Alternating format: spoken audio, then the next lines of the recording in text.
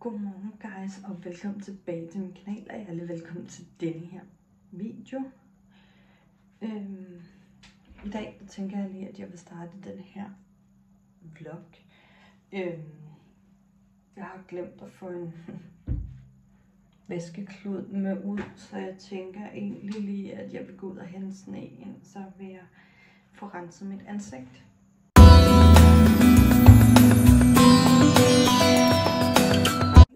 Klokken ved at være 12, og jeg har gjort mig ready, ready to go, og fået filmet nogle fashion clip, både i morgenkåbe og i med tøj.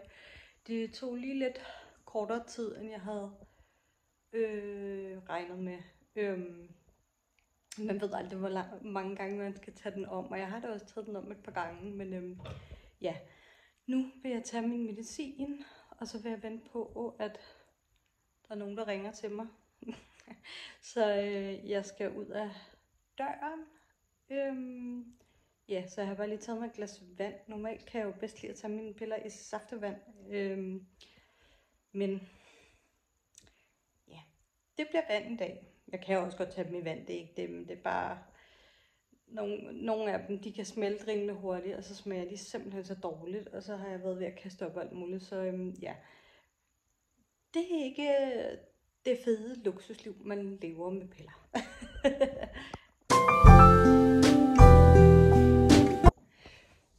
Nå, nu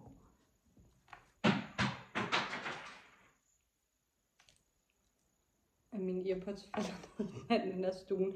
Den må jeg lige finde bagefter. Jeg er kommet hjem fra City 2 og Rødovre. Vi troede faktisk, at der stadig lå en Sisi ude i City 2. Der lå en outlet-agtig ting øh, derude på et tidspunkt, men det gør der ikke mere. I hvert fald ikke lige nu. øhm, ja. Så, men jeg fik ikke købt de bukser, jeg øh, gerne ville ud og prøve, fordi at øh, de sad overhovedet ikke godt. Jeg var for øh, lav i forhold til bukserne, øh, tænker jeg. Øhm, så de sad ikke særlig pænt på mig. Det lignede bare, at jeg havde taget sådan to kartoffelsække på. øhm, ja, så det blev ikke til bukser i denne omgang. Det blev til noget andet. Øhm, og ja, så skulle jeg stå og diskutere størrelse med en medarbejder, der bare var sådan slim, øh, tynd. Øhm, det kan jeg godt mærke, det skal jeg lige lægge øh, fra mig, fordi at, øh, jeg blev en lille smule irriteret over, at jeg ved godt, hvad størrelse jeg er. Eller sådan nogenlunde. Jeg svinger lidt mellem 46 og 48, alt efter model og sådan noget. Jeg er en medium i deres 46-48, så øhm, ja, det kunne jeg godt mærke. Det gik mig lige lidt på, men øhm, læg det fra os. Fordi jeg gider ikke gå og være irriteret over sådan noget. Nu var jeg lige nået til et godt sted, hvor jeg sådan nogenlunde har det fint nok i min krop. Så øhm, lad os lade det ligge. Men jeg har tager lige min taske op, fordi der har jeg nogle ting i. Jeg manglede opvaskesæbe, eller snart. Øh, sådan en til toilettet. Og to deoer, fordi de her deoer, jeg bruger, dem har de fået, havde de normalt ude i City 2, og de kostede 68 kroner for en, og jeg plejer at give at 95, tror jeg, jeg kan ikke huske det, men det er i hvert fald nærmest under halv pris af det, jeg giver i Matas, så der købte jeg lige to, det kan man jo altid have. Øhm, og en sæbe til øh, hvad hedder det nu, håndsæbe, fordi den var på tilbud, så tænkte jeg, sådan en kunne jeg lige så godt lige tage med. Øh, jeg fik de her to til lige sådan 10-20 kroner mere, end hvad den her koster i sig selv. Så det kan jeg godt se, det kunne ikke betale sig. Så købte jeg nogle øreringe. Jeg skal nok, jeg, jeg, nogle øreringe fra Pilgrim. Øh, jeg pakker dem altså ikke lige. Jo, det kan jeg godt. Jeg vil bare heller ikke have, det her klip bliver alt for langt. Men jeg har købt sådan nogle tre øreringe. Ved du hvad? Det må vi se en anden lige på et andet tidspunkt. Jeg kan heller ikke åbne den der. Men det er til det her. Der er, det er en trepak, så der er tre til hver side. Øhm, og jeg har købt en med perle og en med sten. Så var der en lille øhm, prøve her på en creme. Og så kom jeg lige til at købe to ting. inde i noget, der hedder Reshopper, som er sådan noget lidt ligesom børneloppen. Fordi min fætters øh, min fætter, min fætters kæreste har fået et barn. Han har også fået et barn. min fætter og hans kæreste har fået en lille pige. Øhm, så vi købte lige en lille hue. Øh, sådan en lille sommerhue, hun kan have på. Og jeg kaldte dem valentine sokker i sådan lidt forskellige lyserød. Og så havde jeg tænkt mig her, øh, inden jeg skal se dem næste gang, det skal jeg her i starten af marts, der, øh, der tænker jeg, at øh, jeg lige vil køre i børneloppen og købe en, noget lidt ekstra til dem, fordi jeg købte noget rigtig lækkert tøj til øh, min kusine, som er min fætters søster, som også lige har fået en baby her i september. Der købte jeg noget rigtig lækkert øh, øh tøj, så øh, der, der, jeg kører lige ind i ja, børneloppen eller i Nemet eller et eller andet, lige og kigger, hvad de har, og øh, køber lige lidt en lille gave til dem, sådan så at der ikke er nogen, der bliver snydt. Ej, jeg tænker heller ikke, det er sådan, man tænker, men jeg vil gerne købe en lille gave til dem. Så, fordi jeg ikke købte bukser, så havde jeg det sådan lidt, jeg skal lige slutte på en øh, god note her. Så jeg købte årets klarborgnisser. Øhm, det er jo fordi, vi håber, at vi skal giftes i år, eller det regner vi med til oktober.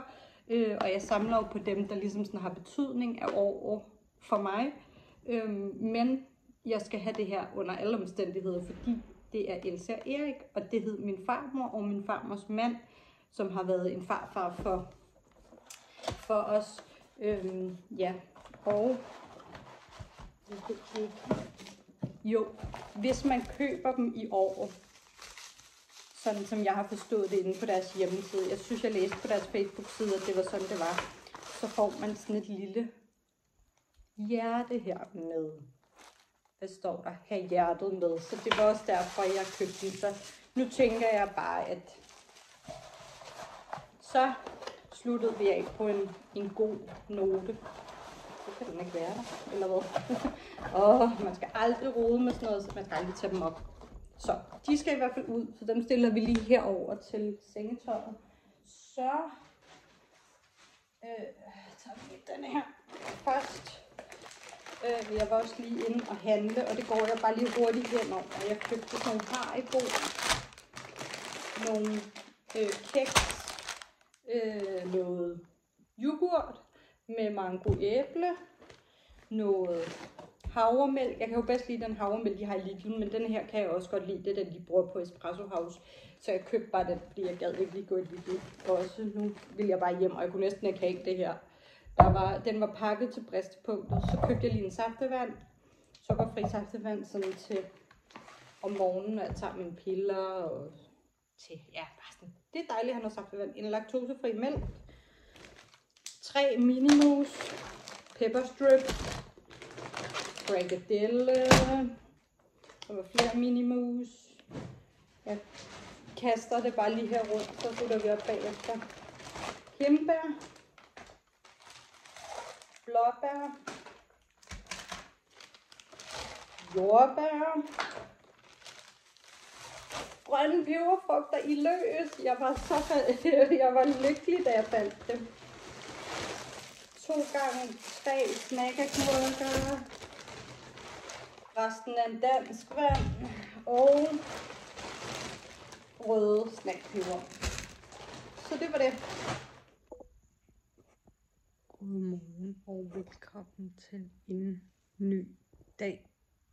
Jeg klokken er sådan lidt i 10, og jeg har været op i siden klokken 9. Øhm, jeg skal på psykiatrisk i dag, og jeg tænker bare, at jeg vil fortsætte vloggen lidt i dag. Øhm, ja, men jeg ligger lige her og vågner og ser lidt YouTube, så øhm, Nå, nu har jeg lige været ude og lave mig noget morgenmad. Det blev bare til to stykker ristet toast med noget smør på og en lille iskaffe. Og det er den der iskaffe fra, jeg købte i december, hvis jeg har fulgt med i Vlogmas. Og ellers så kan I jo lige hoppe tilbage og se den. Øhm, det er med lakrids fra Salling. Den kommer også til at være som thumbnail, så der kan man jo lige se, hvad det er for en. Øhm, men jeg tænker, at vi smager på den.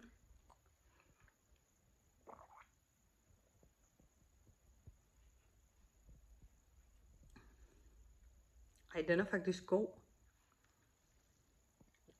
Den er ikke sådan kraftig lakridsagtig. Øhm, jeg synes, den dufter mere lakrids, end den smager, men den giver bare lige, lige sådan en lille hint af lakrids, og jeg plejer jo at putte øh, havremælk i. Mm, den smager godt.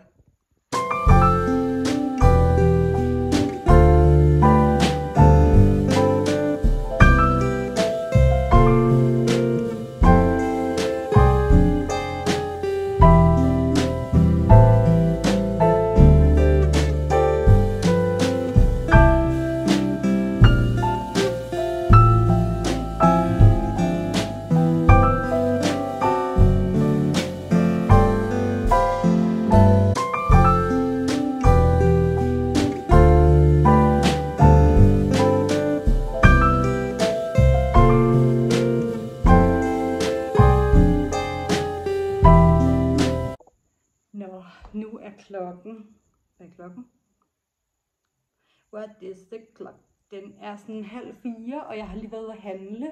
Jeg lavede lige en lille eksponering i dag, fordi jeg er... øh, Ja, jeg er begyndt sådan lidt at få angst, når jeg er udenfor. Øhm, og sådan lidt angstanfald og sådan noget. Og får det sådan virkelig dårligt.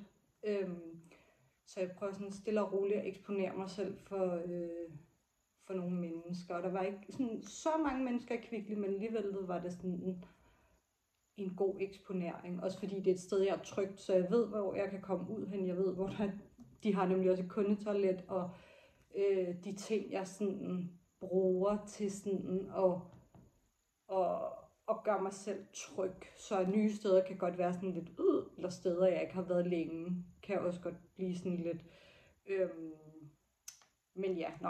Anyways, det var ikke det, vi skulle snakke om. Jeg har været nede at handle, og jeg har endte med at købe en pose, fordi at øh, jeg skulle have til aftensmad, og nogle forskellige ting, som jeg ikke lige fik øh, købt i går i Føtex, fordi jeg vidste ikke, at jeg var ved at løbe tør for det, for eksempel. Og i går, der øh, skulle jeg bare have noget frugt og grønt med hjem, fordi at øh, jeg kan rigtig godt lide frugt og grønt fra Føtex eller Netto eller sådan noget. Og øh, jeg tænkte, at jeg gerne, ja, jeg købte det der, fordi der skulle jeg bare lige med bussen, og så skulle jeg bare lige øh, bære det fra bussen af og hjem.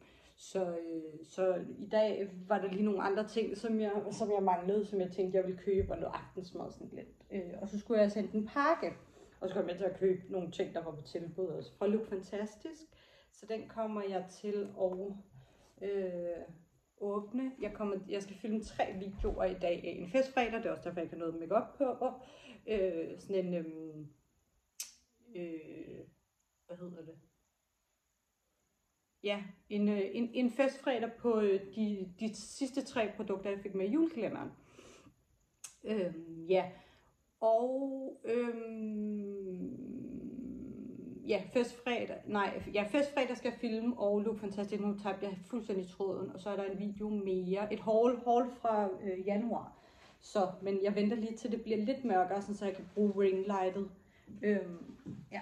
Og så skulle jeg også have nogle ting med hjem fra min kæreste, eller fra min kæreste, så det blev så lidt mere. Der er et par drivvåde vanter, fordi at jeg lod dem ligge ude i cykelkurven, som jeg plejer. Øh, så de er lidt drivvåde. Jeg skal have nogle nye til, når det, er så, når det regner så meget. Øhm, nogle, der er mere vandafvisende. Jeg har vist den. Øhm, mit julegave øh, hvad hedder sådan noget, øh, hvad jeg ønskede mig julegave, der viser jeg i hvert fald to par vanter, som jeg ønsker mig. Og det ene par er nemlig til at cykle, og det andet til, når jeg går. Øh, og det er lufferne, hvis I har lyst til at se videoen, så gå tilbage i min, i min øh, vlogmas. Øh, der er en video med det. Øh, og så den her, den er jo kold, så når det er vinter, så fryser jeg faktisk lidt om fingrene, fordi det her, det er bare strik, og herinde er det sådan foret.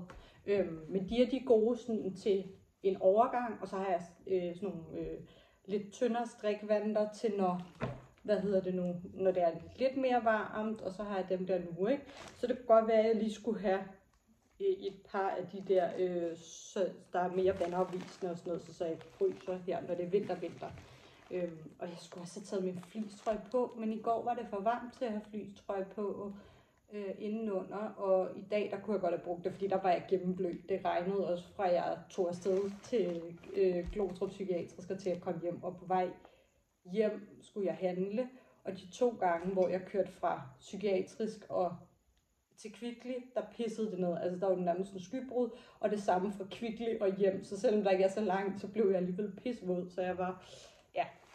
Så købte jeg lige, fordi jeg Kvickly havde dem her øh, Red Bull til 5, 2 for 25, så der købte jeg lige to, fordi min kæreste har drukket den ene af dem, og så tænkte jeg, at jeg bare kunne købe en ekstra. Så øh, ja, jeg kom ud den ene dag, så var sådan, drak jeg den i går, men så var det ham, og det var også, det er også okay, han må gerne drikke den. Jeg skulle bare have en, en ny. Så har jeg købt noget hytteost, fordi jeg tænker, at vi skal have avocado sandwich, eller toast. Så har jeg købt sådan nogle tomater til en tomatmad, eller til oven på avocado toasten.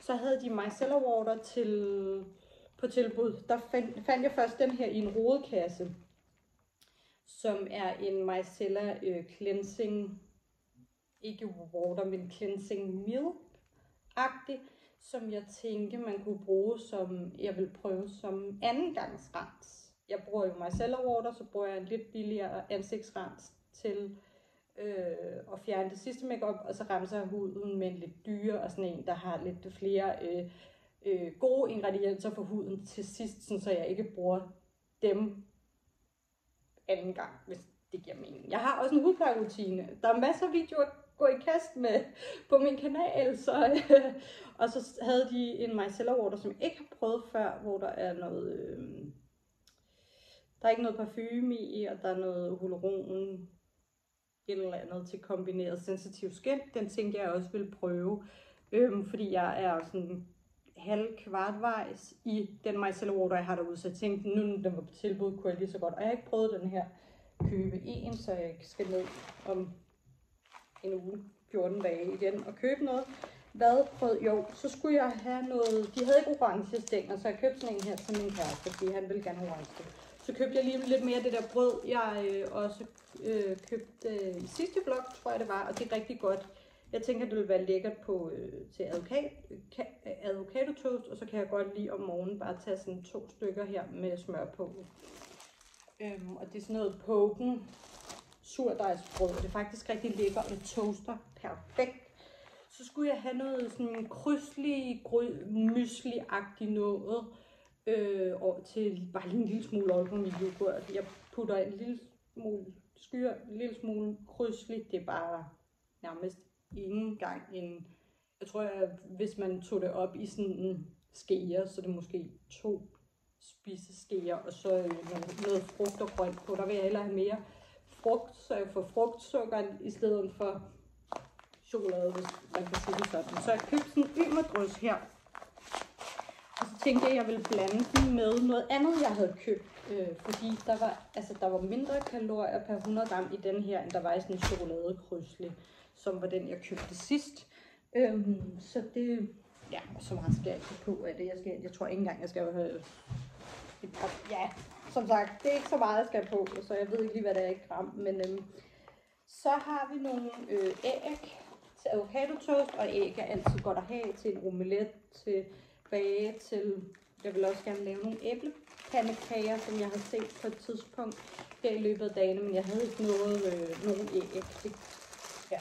Så var der avocadoer.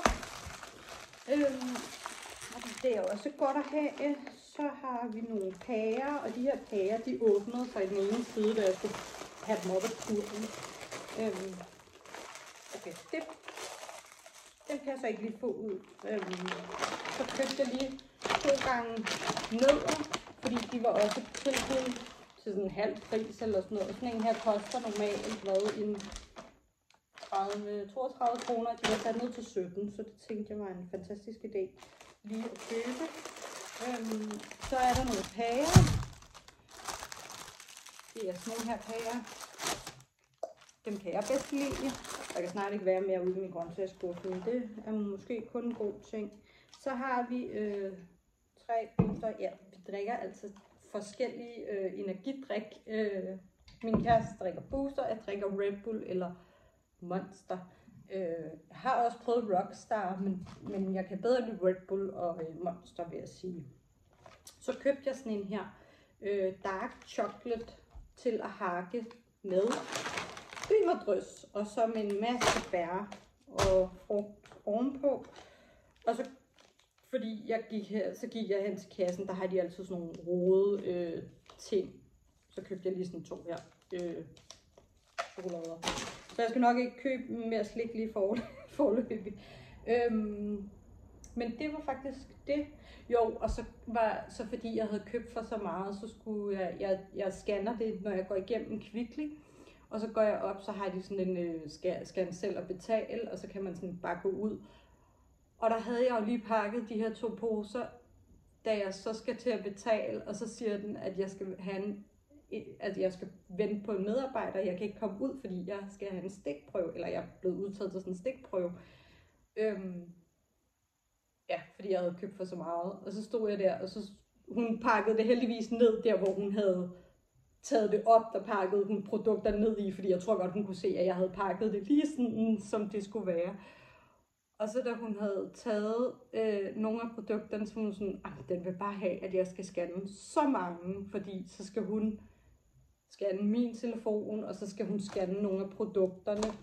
Øhm, og da hun så havde taget det, der sådan lå i øret, så, hun, så var jeg, så var hun sådan, ja, jeg skal bruge nogle flere produkter. Så siger jeg, vil du ikke bare have dem, der er i det her net øverst? Fordi det, vil, det er jo lige meget, hvad, hvad det var for nogen. Og så, så det var meget heldigt, men det var bare lige sådan, hmm, jeg har lige stået og pakket øhm, ja, nå.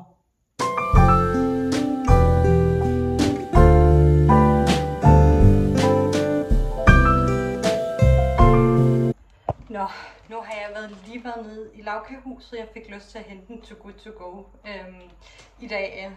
Øh, der er mange gange nogle lækre ting. Øhm, så ja, det tager ikke så lang tid at gå ned til lavkagehuset fra mig Så det tænker jeg, jeg lige vil gøre. Det tror jeg faktisk, jeg ved ikke, om jeg har nævnt det i nogle af de andre klip, men jeg bestilte den i formiddags. Øhm, så tænker jeg lige at vise hvad der er i. Og så vil jeg gå ind og spille noget Sims, og så skal jeg også have øh, filmet lidt øh, YouTube-videoer, som jeg har snakket om. Men jeg har bare puttet det ned i mit net, fordi de der papirsposer, de kommer i, der er ikke nogen hang på, så når det blæser, så, øh, så de er lidt svære at gå med. Der er to faste lavnsboller. Der er sådan en gammeldags her, og så er der sådan en med noget øh, uren i på. Og så er der en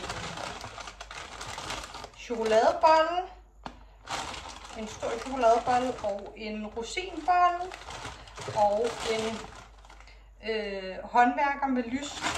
Og øh, jeg har tænkt mig, det jeg ikke spiser i dag, det fryser jeg ned. Øh, så var der en, oh den her, den skal min kæreste der have i morgen. Der er sådan en øh, stor pizza med sådan noget øh, salami på. Mm. Den vil han da gerne have i morgen, ved jeg. Så den lader vi ham på. Og så er der faktisk et øh, brød et stort bokagebrød. Det, jeg tror faktisk, jeg vil øh, gå ned i morgen og handle ind til suppe, fordi så kan vi få brugt det her bokagebrød Øh, så kan jeg bare lave en tomatsuppe eller et eller andet øh, nemt suppeværk. Og så har vi noget lækkert brød. Ej, det var da lækkert. Der var ikke mere i. Nej. Ja, det var lækkert. Nu vil jeg sætte mig ind og spille lidt øh, computer sims.